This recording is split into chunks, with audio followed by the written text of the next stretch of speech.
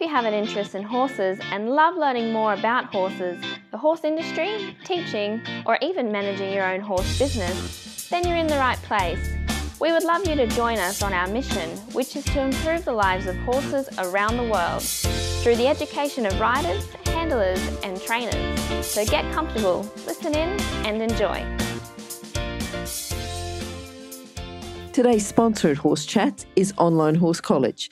If you're looking for a government accredited instructor qualification, have a look at onlinehorsecollege.com.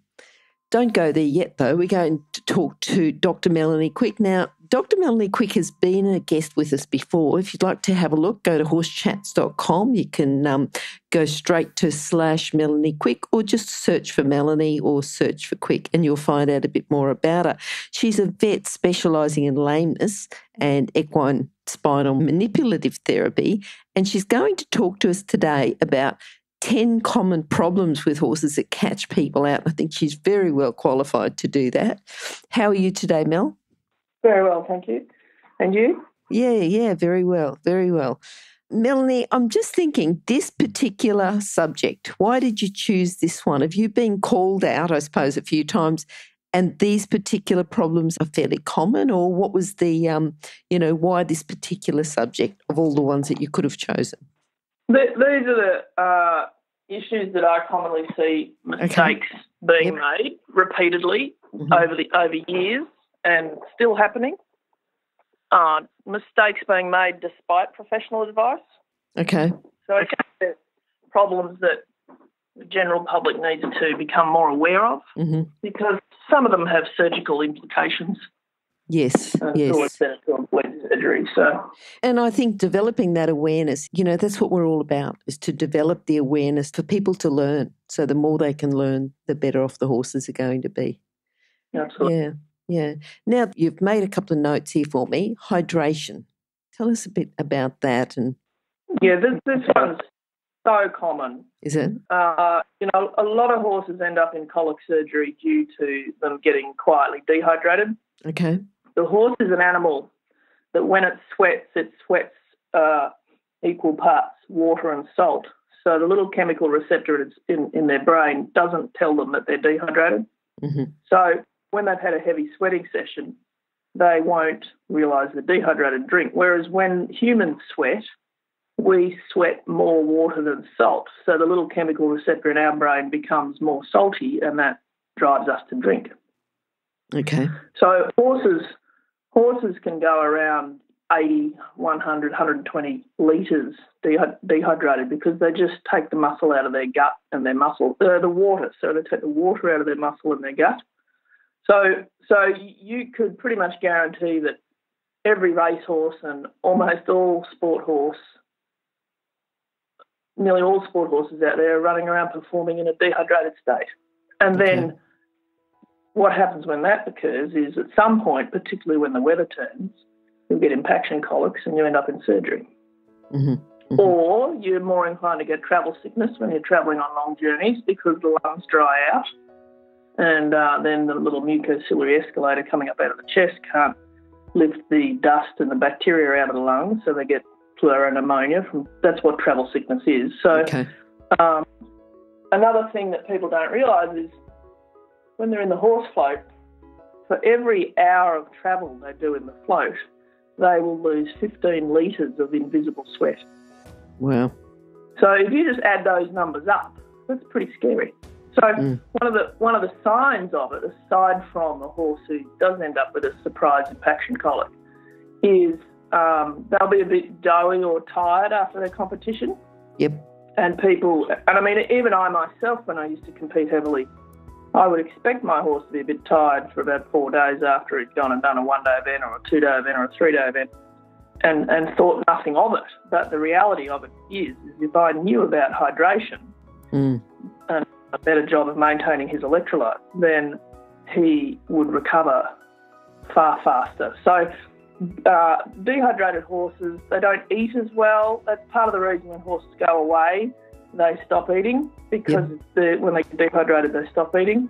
Um, they'll get flat and dull in their behaviour, and, and, and they'll have a bit of a dull coat, and they won't have a top line that looks as good, and they'll just be generally a bit lackluster in their work, so people usually put a pair of spurs on to fix it. Um, mm. And in reality, if they just hydrated them properly, in fact, I've had clients say to me, well, they've rung up and cursed me because I might say to them, look, you need four tablespoons of salt a day for the next month to get this horse to catch up. And then they ring me in a month, so I can't ride him anymore because he's bouncing out of his skin. okay, okay. So, you know, it's a common, common cause of impaction colics. It's heavily related with transport and, um, and you will get behavioural issues from it. Mm-hmm, mm-hmm. Just before we get on to the bad behaviour, what do we tell people then? Give them that salt for a month? So, Is that going to fix uh, it? Yeah. as a maintenance level, mm-hmm. horses need two tablespoons of salt a day, maintenance. Mm-hmm. That's, that's doing nothing, sitting around in the paddock, not working. So I like to have people aim to get the urine of the horse clear to only slightly pale yellow. A lot of horses, when they urinate, it's, it's sort of orange to cloudy yellow. Yep. So that there's your, your first sign of dehydration. I mean, you can do your skin tent test where you pull the skin up on the neck, hold it for a few seconds, and then let it go, and it should snap back down instantly. And most horses fail that test too you can feel their gums and they should have wet, slippery gums, and most horses are dry and sticky. But the easiest one to keep an eye on is the colour of the urine. So that urine really should be quite quite pale, uh, quite clear mm-hmm. to only the slightest pale yellow. And if he's urinating any form of treacle, which horses are quite good at doing, uh, then you're dehydrated. So, okay. you know, you may need, in certain weather conditions, uh, you might need four tablespoons of salt or two tablespoons of salt, two scoops of electrolytes in one day. Mm-hmm. You might even need to get up to six. You're just going to keep going until you've got that urine running clear. Okay, now the, the salt and electrolytes, so give them both salt and electrolytes, and what's the difference between the two? As a general rule, majority of horses only need plain salt. Mm-hmm. Once they start working a lot more and visibly sweating a lot in most of their workouts, they they need they need a bit more than sodium and sodium chloride, which is what plain salt is. They might need a little bit of potassium and a little bit of magnesium, um, which is what's in your decent electrolyte um, brands, of which there's only three I tend to recommend. I'm not sponsored by them, but here they are. Yep. It's um, the three I tend to use: um, Hygains, Regain, Kalada Cause, Light, and Kentucky Equine Research. I think theirs is called Endura, Endura, Endura, or something like that. They're the only three I use. The rest of them I don't because the ratios aren't uh, done well enough, and oftentimes they put bicarb in there, which is a load of bollocks. So, okay, um, that's basically what I do. All right, and you talked a bit about bad behaviour before. Is it poor training? Is it pain? Bad temperament? what are the percentages? How much is poor training? How much is pain? And how much is temperament? I would say if you've got a horse who's always been quite consistent and quite a well mannered fellow, mm-hmm. and then suddenly poor behaviour comes, you can guarantee that's going to be pain. Okay. If you've got a horse who, you know, as far as you know in its history, has always been a sort of hot headed scatterbrain and is difficult everywhere in its life, then, then that horse might well have a bit of a bit of a more sensitive temperament, and mm-hmm. and it's bad training because yep. hot-headed horses need better handlers and better trainers. So my general rule of thumb is uh, never blame temperament. Always blame pain first, and mm-hmm. then training technique second. Because I mean, before I sort of started occasionally helping people with training, I would say once I started my veterinary chiropractic work, I would say 80 to 90% of horses' behavioural issues responded with the treatments I was giving them, whether that meant identifying saddle fit problems, identifying spinal pain, identifying you know lameness issues. So before I reach towards training techniques to solve the behavioural issue, I will always um, rule out pain, and then if I'm happy I've got their body in a healthy condition, or at least, you know, better than most horses are living with, then I'll say, okay, if there's any residual behavioural issues left, then I'll show you how to train them. Mm-hmm. And then that usually sorts them out. But, uh, you know, a, a thoroughbred trainer actually taught me this many years ago. And he used to come in and say, "Oh, this horse doesn't want to go into barriers, or it doesn't want to run fast, or it, you know, doesn't want to do this and that." And I mean, there is no training in thoroughbred world uh, from from the perspective of of you know point go. They don't even know stop. They don't really know steering. But you know, it's amazing how in those horses that if they're having difficulty on the track, it's always related to pain. And and you know, it was my job to find their source of pain and, and identify and treat it. And once we got that resolved, the horse, without any training, would go back and happily enter the barriers and jump out of the gates and, and run in a straight line and lose all, all of the hysteria that they had before. So it was a very good lesson for someone out of the dressage sport horse world to, Yep. to learn that you know a lot of that hysteria and, and volatility in horses is them just trying to express their distress about having to work when they're uncomfortable. Okay. Okay. You talked about sore back, but at the saddle fit, how important is that? Oh, it's a nightmare. Okay. they really need to make a law where it's illegal to sell a saddle that doesn't fit. Mhm. You know, you're not allowed to buy a car that doesn't work. You're not allowed to buy a lawnmower that doesn't work. I can't believe you're allowed to sell saddles and, and, and have them not fit for purpose. So uh, it's it's probably nearly 99% guaranteed your saddle's not going to fit. Uh, and sadly, the saddle fitters in the country and probably around the world are often wanting to blame the horses or blame the riders and blame their saddle fitting skills. Uh, so I think people need to learn the signs to look for saddle fit issues. I mean, most people know about dry spots and scruffled up hair, Mhm. and if they don't, they need to know about it. Uh, most, but what what's a really handy way to figure out whether you've got a saddle fit problem is if, well, first of all, if you go to put your saddle on the horse and the horse runs away from the saddle, Yep. that's a major red, major red flag. And I, I've even had clients' horses who you got to put the dressage saddle on, which does fit, and the horse stands still, and then you turn around 20 seconds later and switch over and go to put the jumping saddle on, and the horse runs away. They, they even Mm. know which brand of saddle is causing the problem. Yep. Uh, I mean, I had one client who, who rode in three different saddles, and the horse knew which one of those three saddles was the issue, which I thought was pretty impressive. Um, so, yes, if you put your saddle on, the horse runs away, and then you've got a saddle fit issue. But a simple way that you can tell if you don't really know anything about it, aside from pop it on uh, with no saddle cloth and then lift the flap up and look underneath, and if you can see daylight where the saddle's bridging, then that's a bit of a sign. Mhm. In fact, that's a massive sign. So that's the easy way for you to tell. And the other way is pop your saddle on and then put your hand up underneath it and then just rub the skin with your finger. And if you've got any bruising from the saddle, then they will flinch and flip their skin or run away from you if you rub underneath the saddle.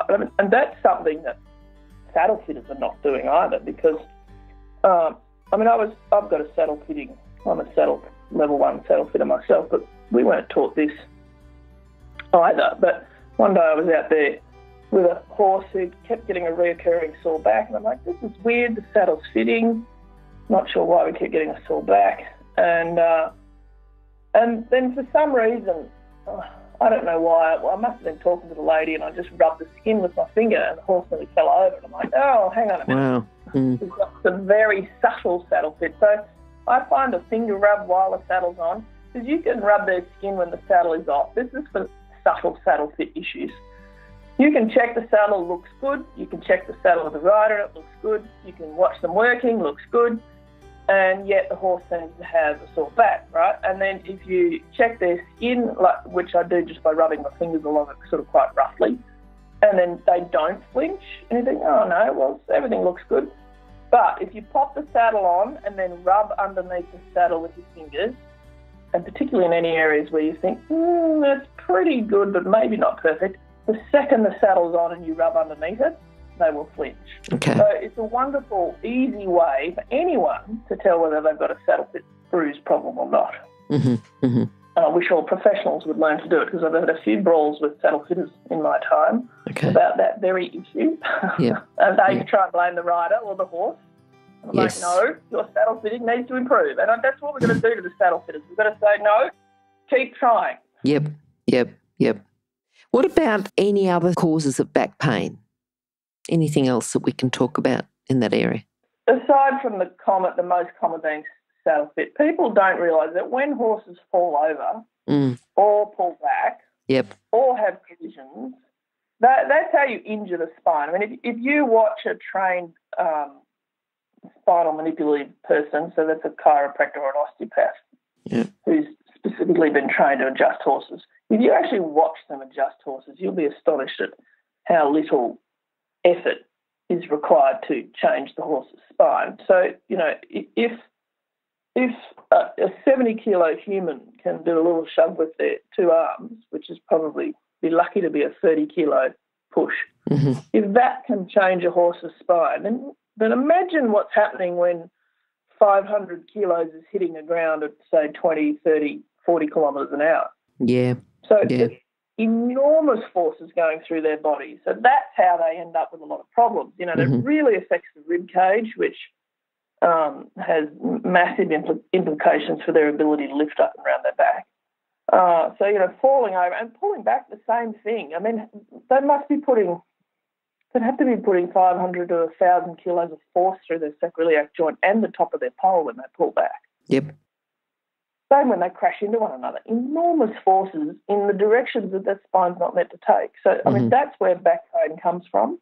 And, and you know, people don't bother to think, oh, darn it, you've fallen over, now I better go get your back checked. Yeah. But you really should be. And his, which leads to the next point is, uh, unfortunately, in this country, and I think it probably happens all over the world, but um, there there are more untrained people calling themselves chiropractors out there than there are trained people. Yeah. So you need to make sure you, might say, "Oh, yeah, I've got the masseur or the chiro out, and he did his back or she did his back, and doesn't seem seems said it, said he's fine or said whatever, but there's no real difference unless you take the time to investigate the training in that person." Then you may not necessarily have achieved anything with the money you just spent. So you Yeah. need to make sure that the person is a qualified um, uh, manipulative therapist. Yep. In which case, there's a website for that, the Animal Biomechanical Professional Australia. I'll never get that acronym right, but anyway, I think I think if you uh, go to our website anyway, I'm sure there's a link on that to it as well. You'll find Mm. them. Yep. But yeah, you, and the other way to tell whether they're qualified is if they cost fifty or eighty dollars, they're untrained. I'm afraid. Yes. Those of us okay. who actually bothered to pay to go to university, unfortunately, we have to charge a bit more because we'll never get our money back. Mm, mm. If you're an equestrian coach or a horse riding instructor, or even if you aspire to be one, have a look at the free video series for horse riding instructors on the Horse Chats website. Go there now, have a look. horsechats.com. All right. And I think, you know, you talk about unqualified professionals. I think that goes not just for backs. I think there's quite a lot of, um, you know, people that we should be looking at qualified professionals within the within the industry. Well, you would hope it statistically improves your chances of success. All right. What about other lameness? Well, here's the other one that uh, I get called out. So I, this is an interesting one. I would say that uh, if I get called for a, for a chiropractic appointment, Mm. if I would say probably 50% of the horses I get called to visit as the chiropractor actually need my lameness veterinary hat to visit them. So, Okay. so, you know, there's a large number of horses out there are lame, and people really need to write this on their forehead or the fridge. Lameness almost never comes from the shoulders. So, Mhm. just to give you an idea, I've Yep. been practicing Yep. 95, so what's that, 23 years? In 23 years, I have seen two shoulder lameness cases. hmm So people need to stop blaming shoulders for lamenesses, and it's almost never coming from the spine either. So I've probably seen one horse in 23 years that had a spinal related lameness. hmm The rest of them, well, you know, no foot, no horse. All the rest of the problems are coming from feet and, uh, you know, the joints further up. But it will not be shoulders, and it's highly likely to not be the spine. But shoulders and spine get blamed for a lot of lamenesses. Yep, yep, yep. I can remember I was working for a trainer. We had a few horses. I you know, I had to get the horses ready, get them um, in the truck ready to go. And I went down to the stables where he was, which was, you know, a few hundred metres away. And I said, I can't get this particular horse on the truck or on the float. And he goes, Why not? I said, Well, it's really lame. And he goes, Whereabouts? And I said, It's in the shoulder. And he took me aside. He said, Glenys, horses just don't get lame in the shoulder. You know, like everyone will blame the shoulder. Horses just don't get lame in the shoulder. And I said, Look, I really think it's the shoulder. No, Clint, this just doesn't happen. And he said, Tell me what's happening. And I said, Well, he can't lift his leg. He's dragging his toe. And when I go to take him out of the box, he cannot lift his front leg over, you know, the little board that kept the, the bedding in. Mm. And he said, Oh, maybe it is the shoulder. You know, it's it's because he was telling me, look, doesn't matter. I, I understand that you can see if a horse is lame, but this is not going to be shoulder. And he said the same thing. You just don't see shoulder lameness. You know. He was he was unusually uh, not very many trainers say that, so good on him. But Yes. um, yeah, not being able to lift your foot over the board will that might be a, a rare rare one, slightly higher Yeah. up the leg. Although a knee will do that too. So Yeah, I think they ended up X-raying, and um, yeah, it was shoulder. Yeah, but I, I think that was about the only one that I've seen. A lot of people say shoulder. You're right. Yeah, I mean, but they'll look shouldery because they're kind of using so much muscle up there to Mm, actually get mm. around for whatever the problem is further down. So as a general rule, if you think shoulder, just think no, it's not. Yep, yep. What about stifles? Okay, so the other thing that uh, that people commonly miss, and probably I'm at an age now where I'm getting to appreciate this more. I remember about uh, ten or so years ago, a very famous vet from England, I think Sue Dyson's her name. She said back then, "Watch out for stifles." And I thought, oh, that's interesting. But I mean, that was more when I was in racetrack practice, and Mhm. you don't see a lot of stifle issues in, in young horses. But certainly, as I have followed the careers of horses over the last, say, 15 years, and I've known the horses for 15, even up to 20 years, um, there's no question that as they start to age, you do see stifle lameness become more relevant. And I mean, a lot of people talk about hocks and they, you know, get their hocks injected. You hear that happening very commonly, but I see a lot of horses who are being misdiagnosed uh, because they've got stifle disease. And the, the trick with stifles is they're really hard to diagnose because they don't, the swelling is not easy to see. They may not respond that much to a flexion test, but they can be quite catastrophically lame with them. So uh, probably in the in the hind leg lamenesses, if it's not a foot lameness, then the next place I'd probably jump to is a stifle. Okay. And then if it's not that and it's a dressage horse, then I'd probably think high suspensory. But they're probably the most common areas if you can't see any visible swelling in the leg Mhm. that you need to think about. Okay. Okay. And they're missed all the time. So Yep. very common. Yep. Yep. All right. Tell us about ML balance. Uh, so that's medial lateral imbalance in Okay. hind feet. So, so the hind feet of all horses grow faster on the inside than the outside. hmm That's just a fact of the way that their legs stand. They stand slightly turned out, and their body weight is down through the outside of the foot, which means there's less blood flow through the outside of the foot, which which results in slower growth on the outside than the inside. And so, if that horse was running like a proper wild Brumby across the mountain, the mountain would trim down the inside of the foot to keep it balanced. Okay. But usually they're usually they're shod or they're being looked after by trimmers who don't know about the fact that they grow faster on the inside. And so they commonly get left with what's called medial lateral imbalance. And if you stand at the front of the horse and squat down and look at his coronets, they should be parallel to the ground. And the same as if the horse is walking away from you, the the coronet at the back of the foot should be parallel to the ground. But if they've got medial lateral imbalance, i.e. they're higher on the inside, you'll see the you'll see the height on the inside. So what the farrier or the trimmer is always meant to be mindful of is the fact that this is a natural growth pattern, and our job is to try and keep them square. Okay. And and I would say I don't think I've ever seen a farrier get it right. Oh, really? Yeah. Yeah. That's how significant this problem is. So Okay. when you get medial lateral imbalance in your hind feet, you end up with a horse that has a hock wobble. Yep. People have talked about hock wobbles, and so they usually go and inject the hocks, but they don't straighten up the foot. Okay. The next Okay. thing you get when you've got a medial lateral imbalance is I mean, basically, you're bowing the whole leg out sideways. You end up with stifle disease.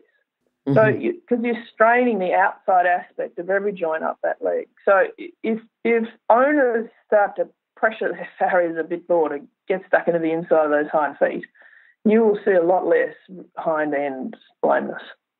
Yep. Just needs yep. to be done. Yep. And, you know, the farrier will say, oh, but he grows that way. Yes, they all grow that way, some more than others. So yep. your job to keep it, level it up. Yep, yep. All right. Now I know you've got it. You know, you're pretty passionate about horses' feet, so I want to go into that a bit more because it is important. You know, you've already pointed out that, particularly in hind feet, that you start off, you've got to get the coronet, you've got to get the hoof right, otherwise you're going to have problems in the hock or the stifle. But can we talk about the types of shoes and the types of, um, you know, a little bit more about the feet there? So this is just some tips that, uh, you know, once I've got my book written, you'll be able to see lots more tips. Good. Tell us when you do. Yep. this is just some basic things that everybody can encourage their farriers to do. And, and I think uh, uh, uh, as a riding population, if we all start pressuring the farriers at once, they might change. Yep. So, um, um, and they're doing the best they can with the knowledge that they have. Yeah. But uh, we need to crack some doors open a little bit. And you can begin with the type of shoe that you put on. And, and basically, what's happening is people put priority to the shoe not wearing out. So the bigger the horse, the heavier the steel they usually use because they don't want the shoe to wear out, do they? Yep, yep. So if the shoe doesn't wear out, who do you think's going to wear out? Mm. Probably the horse. So I always like to use a shoe that will wear out. So I would prefer if I had to shoe a horse. Thank God I don't anymore. But if I had to shoe a horse, I want to wear use a shoe that, for a start, has what's called a full rolling edge, which means there's a bevel around the whole shoe, meaning that the horse has good breakover in all directions. And that shoe is made by the company St. Croix, and the brand of it is Eventer. Okay. You can get online and have a look at what I mean about the full rolling shoe. Uh, it comes in steel and aluminium, but remember I said I want the shoe to wear out, not the horse to wear out. So I actually prefer aluminium because an aluminium shoe will at least wear a good breakover edge in the, in the most common direction that that foot that foot is travelling. And you want it to wear a good edge on it because that's going to protect the joints above it. Mm-hmm. If that shoe holds its square edge, then you are straining joints. Yep. Yep. So literally every horse needs to be shot in these St Croix Eventers. The problem is they don't. I don't think they go for super little horses, which most of them don't really need shoes anyway. Um, or then you need to put some breakover on the shoe, put a rolled toe on or a full rolling edge. There used to be a trotting half round. It was called. I'm not sure if it's still available, but it was also a shoe that had a full rolling edge. Um, but otherwise, if that's not available and you're in tiny feet or you're in giant feet, then you know aluminium's good because by the third week, that shoe will have worn a beautiful bevel onto the edge of it and brought the breakover back to the horse. So mm-hmm. that's a simple way you can help them. Okay. Uh, another thing that really needs to happen is people get distressed about contracted heels. Did you know that if a farrier never trimmed the frogs, you would never get contracted heels? Oh, That's really? Yeah. Yes. Yeah. But they're delightful way of, you know, they pick the foot up and they run their knife down each side of the frog and then usually at the centre of it and they say, oh, that'll clean the thrush out. Yeah, yeah. That's what causes contracted heels because the frog then drops down through the shoe yep. because it's trying to reach the ground mm. and that brings the heels in narrower. So if you want to either prevent contracted heels or help them, stop cutting the frog. And by the way, do you know what the frog's real purpose is? Oh, whatever I say, you're going to tell me it's not. So just tell me. okay. The, the frog is their fingertip. Okay. It's full of nerve endings. Mm-hmm. An enormous amount of sensory nerves in it. That's how they feel the ground. So, do you want your fingertips cut off? No, definitely not. Probably not. Yep. Probably not. So, you stop cutting their fingertips off, they'll stop half the tripping. So, you know, if we can just get every farrier in the country and the world to stop trimming frogs, yep. then you will have a lot healthier back of the foot. And what's underneath your frog? Your navicular bone. You know, Mhm. if you start wondering why navicular disease occurs, if you've got a if you've got a race of people keep chopping the thing that supports the navicular bone away, then what are you you're going to put the tissue at risk there? Yep.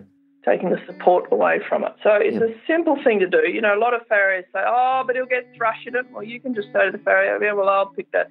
I'll pick his foot out. You know, let Yes. me be responsible Yep. for the mud." Yep. I want my horse to have a frog because the thing is, when it gets wet, those frogs fall off really easily when they're ready to, don't they? Yeah, yeah. They Yep. don't really need help to fall off Mm. when they're ready to fall off. But who are we to say that that frog's ready to come off? Yep. So yeah, keep your frog. I think I've had seen about one farrier in the thoroughbred industry not trim frogs, hmm and those though because and I use thoroughbreds as an example because they're you know renowned for their bad feet. And these thoroughbreds, because they didn't have their frogs trimmed, you couldn't tell that they were thoroughbred feet. And they were racing thoroughbreds. And yet, because their frogs were not trimmed, those feet looked like lovely warm blood feet. Okay. So it's quite impressive what not trimming frogs can do. Just let it peel itself. The other part that farriers aren't trimming well enough is they leave the bars untrimmed so they get bent or they really protrude up, sometimes even above the height of the, um, the wall, and they're a great source of abscessing and foot pain. So, you know, if if there's nothing that changes in the hoof industry aside from put full rolling aluminium shoes on them, don't trim your frogs, and do trim your bars, and then have a shoeing interval of say four weeks and no longer, then you will dramatically reduce the number of vet visits you get to your horse. Okay. It's almost putting you out of business there, Mel. Yes, that's right. I'm very ter- I'm a terrible salesperson. what about bare feet? Well, bare feet, despite what the authorities like to say, bare feet require a lot of commitment. So, you know, they require an even more frequent trimming interval. Hmm You really can't go past four weeks for them. And for the big horses, oftentimes they need to be trimmed every two weeks. Uh, You need to be more committed to your sugar management for a barefooted horse because they're not a numb footed horse. When you shoe horses, they've got numb feet. That's why we like them. Uh, but a barefooted horse will tell you about the fact that their wheel's not quite right and they'll go sore because of it. So there's a lot more commitment required to have a barefooted horse. It's certainly quite achievable and thoroughly enjoyable when you know the secrets to it, and all horses of all breeds in all sports can achieve it. But, you know, there's a hell of a lot more work required to achieve it nicely. Okay. What did you say about the sugar before? Make sure the sugar's up. Uh, well, you know, that people are starting to find out that horses are a creature that needs to eat a fairly low sugar diet. Okay. And uh, if you've got your horse out there on the lovely green grass and he's shod, you're probably going to be less aware of the fact that the sugar's causing problems. But if you've got a barefooted horse out there on the lovely green grass, he's going to tell you about it causing problems. So, Okay. you know, they you'll be much more aware of um, problems, which is why usually what happens is people blame the horse and they blame the fact that he's not wearing shoes and say, oh well, horse's foot sore or he's gone lame, therefore he needs shoes on. Well, no, he's foot sore or he's gone lame because your management wasn't quite right. hmm So if you want to have bare feet because you want to have them healthier, you need to be more aware and uh, um, m- more accountable for the environment and your trim interval and your trim technique. Yep. Yep. Bit of a nuisance.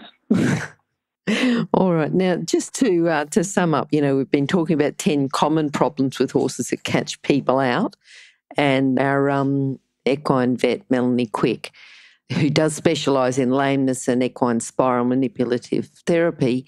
We're going to talk now about gassy guts and how gassy guts can catch people out. They don't quite recognise what the problem is, and so if you can talk to us, Mel, about gassy guts, you know, what sort of symptoms we should be looking at and also what we should do about it.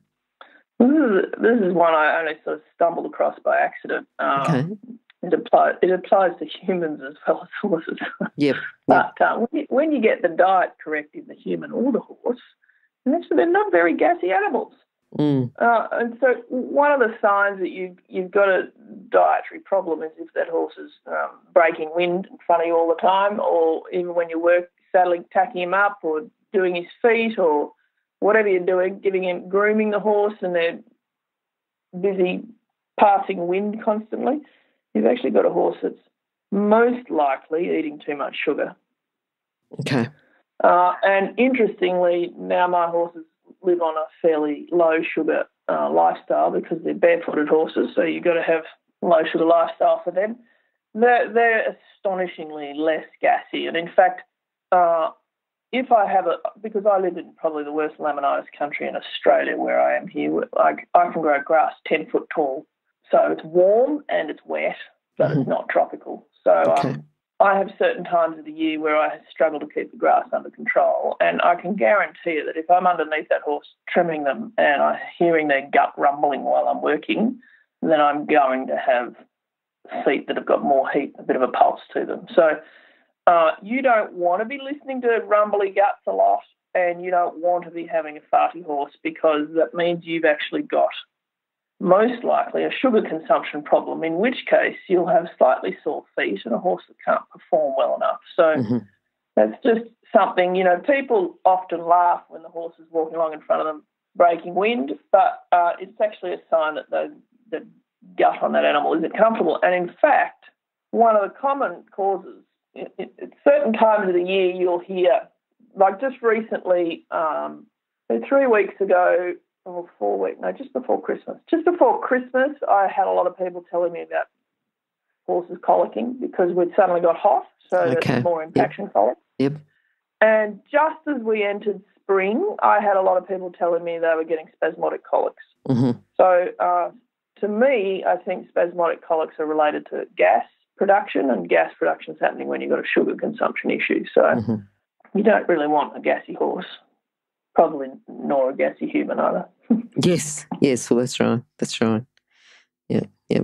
All right, you've certainly done a great job telling us about and just drawing attention to things that do catch people out, you know, that are a problem, that um, one is related to another. If we look at the holistic horse, yeah, one thing is going to change something else, and it's not going for the second thing, it's going for the first thing and fixing that up, which will also fix the second thing.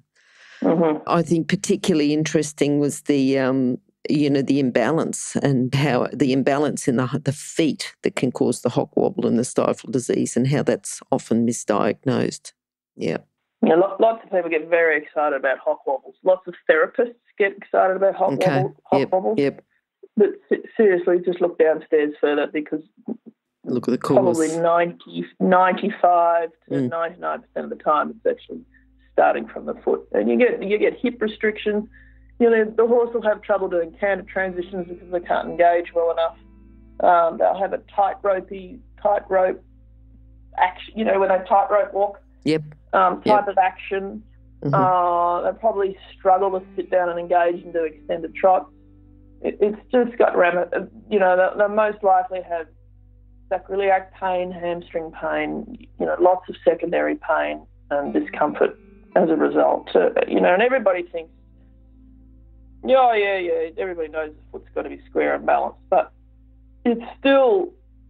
Uh, it's not difficult to achieve. You just need to spend another minute on that foot each mm-hmm. time. And when you've got a farrier who's overworked and getting tired, and you don't really appreciate how much pressure these boys are under until you get under a horse and do it yourself. Yep. Um, it, it takes a lot of willpower to force yourself just to take that extra couple of minutes balancing that foot. So I don't blame them, but I think if we can quietly nag them a little bit more to say, mm-hmm. hey, I'd rather you actually went a little bit slower.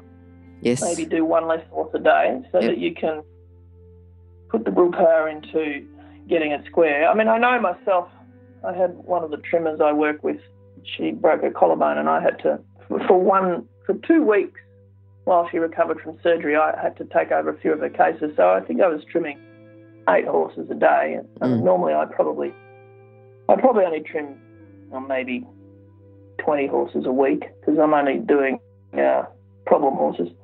But as soon as I had to shift to doing eight a day, which is still not many, by the time I got to the six and a half horse, it was curious to note that my brain no longer wanted to concentrate on doing it properly.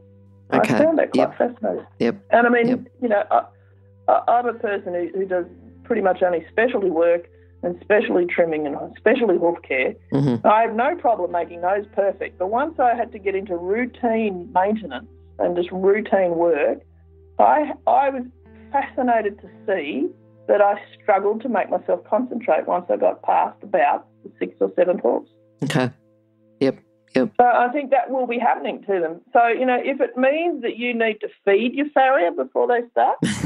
okay.